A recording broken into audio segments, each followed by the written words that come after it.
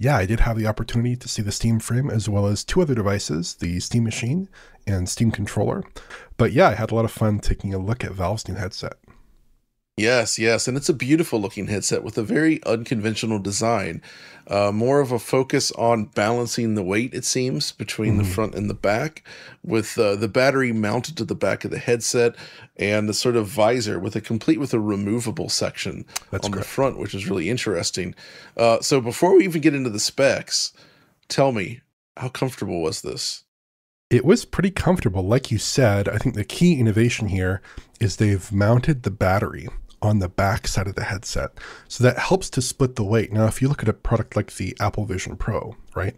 The first generation of that product had all the weight in the front, but for the yep. second generation, they actually added a counterweight to the back.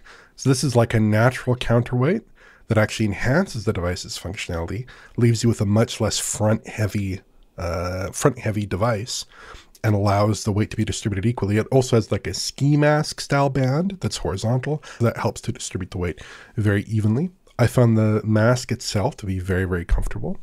It's uh, it has this nice nice cloth interior. It feels very good over the head.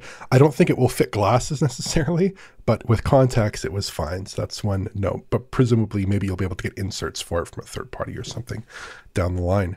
Um, I, I found it very very uh, comfortable. I'd have to say it was. It's, it's a very comfortable feeling headset.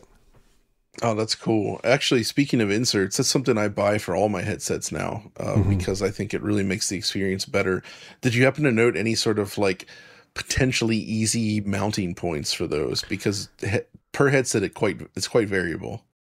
No, I didn't notice anything like that particularly. I will say that the headset does sit quite close to your face, and it is relatively okay. thin, right? I, I, don't know, maybe we're right. skipping ahead a bit, a bit, a bit, but it uses pancake lenses, so it does sit quite close to your face. But I presume if you had thin inserts, like Index 1.67 inserts or something, that would probably work. I, I imagine, but again, I have no particular knowledge of that.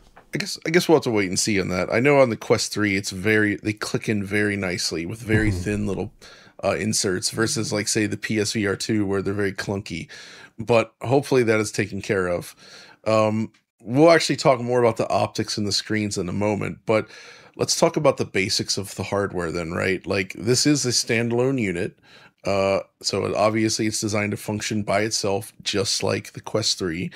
Um, presumably it, it runs a, their sort of like Steam VR form of like a Steam OS style environment which is something else we'll get to. But first, what's the hardware in this thing?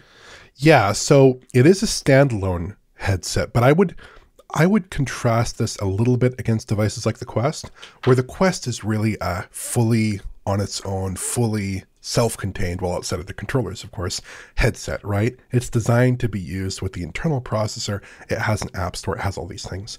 The Steam frame is much more of like a the emphasis is more on streaming, but it also has these standalone gaming capabilities, right? So I'd, I'd contrast that a little bit, where it is a standalone mm. headset, but it's not quite. It's more in the middle of kind of a streaming headset and a standalone headset, where something like the Meta Quest is can do streaming, but it's it's more emphasized on the standalone portion of that. Um, in terms of spec, the internals are interesting here. We're looking at a Snapdragon 8 Gen 3 processor and mm-hmm. 16 gigabytes of LPDDR5X RAM. So that's a pretty powerful phone processor. That's the kind of uh, chip that would, would have been seen in 2023, 2024 uh, cell phones, right? That's a pretty powerful chip. And it also has the benefit here of actually being actively cooled. So it has a small heatsink, small fan, and it also has multiple TDP modes that you can use here. So you oh, have like nice. a high performance, you know, performance, balanced, whatever, power saving, that kind of thing. It has a 21.6 watt hour battery, which again is mounted to the back there. And uh, battery life is a bit up in the air, but a Valve engineer told me like best case, about four hours. Worst case, maybe one hour, right? Depending on what mm. you're doing. Mm. So streaming, you'd think would be more close, would be closer to that four hour mark. If you're sure. running like an intense game in the turbo mode or whatever it happens to be, that would probably be a little bit closer to that one hour mark because that chip itself, you know, you're probably pulling 15 watts off the chip, 12 watts off the chip. You're pulling a considerable amount of power for those uh, displays and every other component that goes into this headset. So that's basically the internal spec in terms of performance but obviously it comes with some storage. So it has either a 256 gigabyte configuration or a one terabyte storage configuration, and it has a micro SD slot Now, this Ah, SD okay. slot, it's not SD Express. So it's not necessarily the fastest, although I think for the kinds of games you'd be running on this device, probably not too much of an issue, I would think. Um, and interestingly, critically, you can take an SD card from your Steam Deck or from your Steam machine and load it into this headset, sw- hot swap it into this headset, and actually No play way. games that way. Yeah, it's really cool. So you can have a game library, like a, a one terabyte SD card. You just move it between units. So you don't actually have to re-download that software. all of that is pretty good and definitely sounds like a nice sort of upgrade over what we have on the Quest 3. Uh, specifically, it has double the amount of memory for starters, which is huge. But then the other thing is just having swappable storage at all.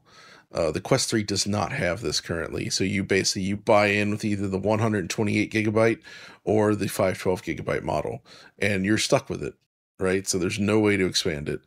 Um, and there's some other other functionality on the Steam Deck, or sorry, on the Steam Frame. I'm already thinking the, this Valve lineup uh, that would make expandable storage, I guess, more valuable perhaps than it even is on the Quest. But um, so yeah, that's that's really interesting stuff. I think.